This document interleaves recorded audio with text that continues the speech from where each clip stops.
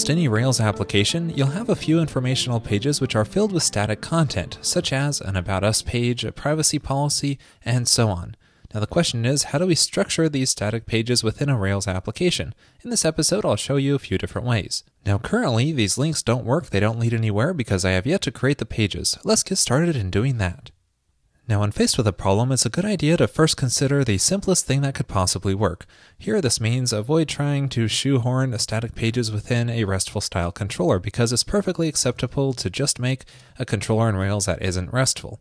So that's what I'll do here. I'll generate a new controller. I usually call this info, but you might want to name it something else, such as a static controller.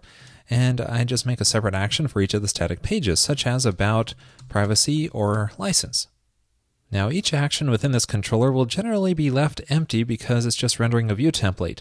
While it is possible to remove the method definition in the controller entirely, I generally like to keep it there just as sort of documentation on the different actions in one place.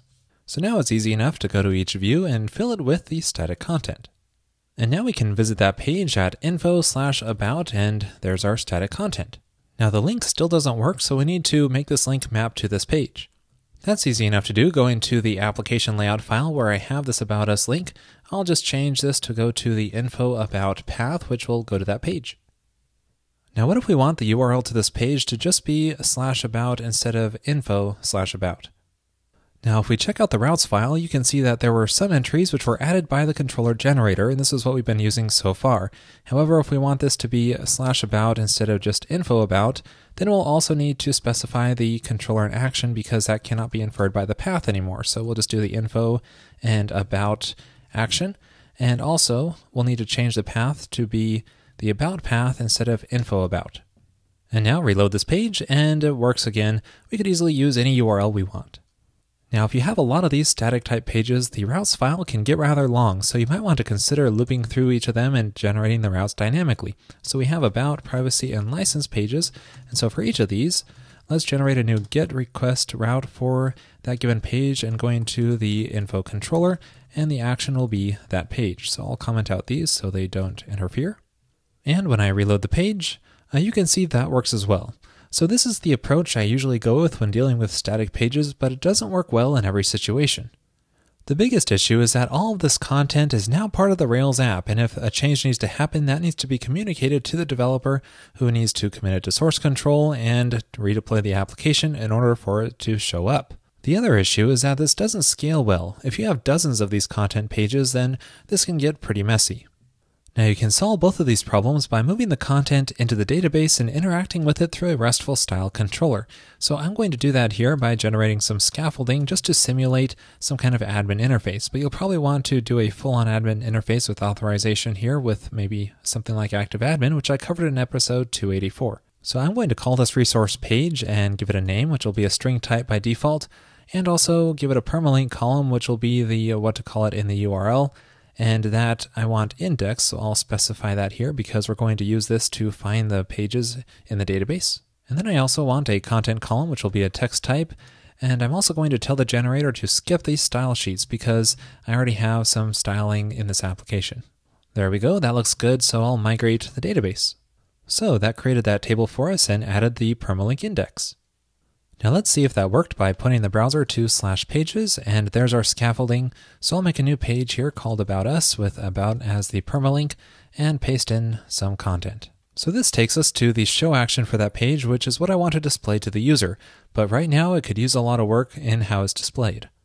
So here's the template for that action, which is what the scaffold generated. So I'm just going to replace all of this and do something very simple.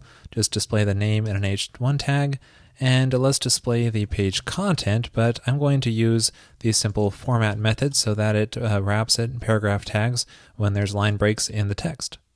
And reloading the page, and there we go. Looks much nicer. Now the next thing I want to fix is the URL because right now it's displaying the ID of the page in there. Instead I want to, to use the permalink, so going to pages slash about will go to that record. The first thing I'll do to make this happen is to go into the page model and override the to_param method. This is what Rails uses to convert a model into a URL parameter. So I'll just use the permalink method here. And also, if you're doing this, you'll probably want to validate the uniqueness of that permalink attribute so that way it uh, not the same on multiple pages. Next, I'll go into the pages controller, which was generated by the scaffolding, and change how I'm finding the page. Because instead of using an ID parameter, a permalink is passed in here, so I can call find by permalink with a bang, so that way it raises a 404 error if no page was found. And I'll do this wherever I'm fetching a single page here. And there we go. So now when I visit the URL pages slash about, it works. There's our About Us page. Now, if I want to link to that page, such as in the menu navigation here, I can call page path and then pass in the permalink, which is about, or I can actually fetch a page record from the database and pass that model in here. So clicking on the About Us link will now point us to that page. But what if I want the URL for this to be just slash about instead of having pages slash about? This is a little trickier because this uh, permalink content here is dynamic. Now I'll need to make some changes to the routes file to get this to work. Uh, right now it's a little bit messy, so I'm going to uh, first of all comment out our old info controller approach because we're using the uh, pages resource. And I'm also going to make a route at the very bottom here to just be sort of a catch-all route for uh, just a single ID passed in here, and that's going to be redirected to the uh, pages show action and I'm going to have the uh, named route be pages, or actually just page, so that the URL still continues to work when we link to it. And also I'm going to change the resources here to do everything except the show action because that is going to be handled by the uh, get route down here. So with that change, the About Us link will now go to that About path, which maps correctly to the page's show action. Now just be aware that since we have this sort of catch-all route, if we type uh, something else in here, that's going to still trigger that page's controller and end up raising a record not found exception. That will give us a 404 error to the user, which is likely what we want anyway, but just be aware that that controller is being hit with pretty much anything we type in here that doesn't have a slash. Now so far I've done this entire thing without the use of external gems, but there probably are some you'll want to consider adding.